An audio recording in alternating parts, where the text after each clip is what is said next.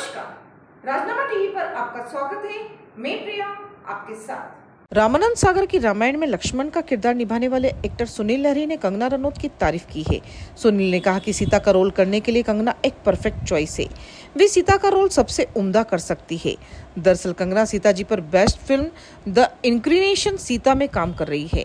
Film में सीता जी का role निभाएगी। सुनील ने कहा कि उन्हें पूरा भरोसा है कि कंगना सीता के रोल के साथ पूरी तरह न्याय करेगी।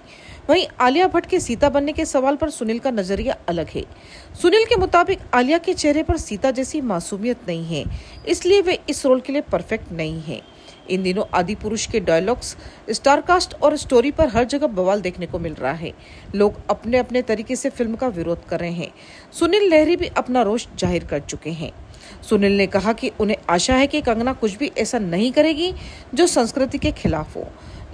एक इंटरव्यू में बातचीत के दौरान सुनील ने कहा, मुझे भरोसा है कि कंगना कुछ भी ऐसा नहीं करेगी। कंगना सीता जी के किरदार को ज़रूर सम्मान देगी।